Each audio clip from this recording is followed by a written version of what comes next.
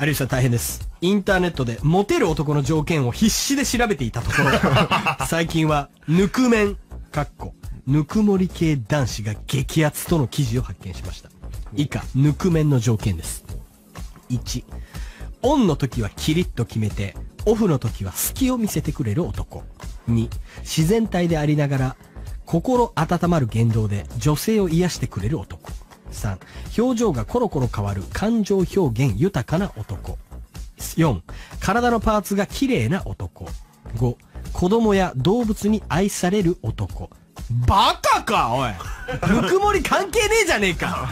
どうせこれ考えたやつギッスギスに痩せたネクラなブスだろ。